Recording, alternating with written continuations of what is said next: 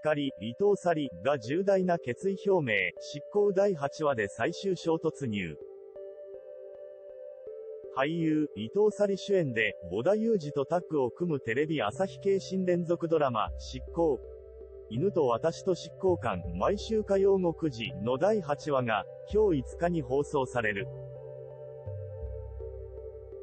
同作は、とある事情から、執行官の世界に飛び込んだ主人公、吉野光、伊藤が、県担当の執行補助者として様々な事件や人々に関わりながら、その人たちの人生のリスタートを目撃していく、令和のリーガルエンターテインメント。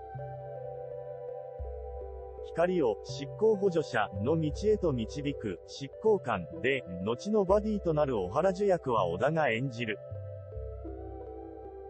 前回ラストで、執行官の小原に、法律のことを教えてほしい、と頼んだ光。困っている人の助けになれるよう法律のことを学びたい、と、執行。に関わるものとしてついに覚醒した光が今回関わる事件は、個人間融資。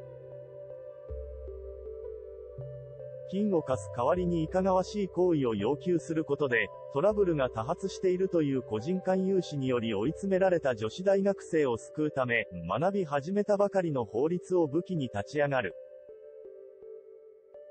第8話のメインゲストは、注目の若手俳優、高沢沙羅。演じるのは大学内で横行している投資詐欺に遭い、借金返済ができなくなった女子大学生の白川アンナ。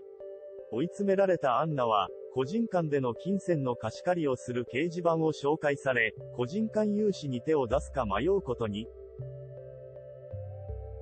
そんなアンナをたまたま見かけた光は、困っていることがあるなら相談に乗る、と声をかけるが、そして、視聴者と同じように、債務者、債権者の人生を目の当たりにしながら、時に喜び、時に傷つき、悩みながら、執行補助者、として成長してきた光。最終章となる今回、小原に、法律を学びたい、と打ち明けた光が、ある重大な決意を発表する。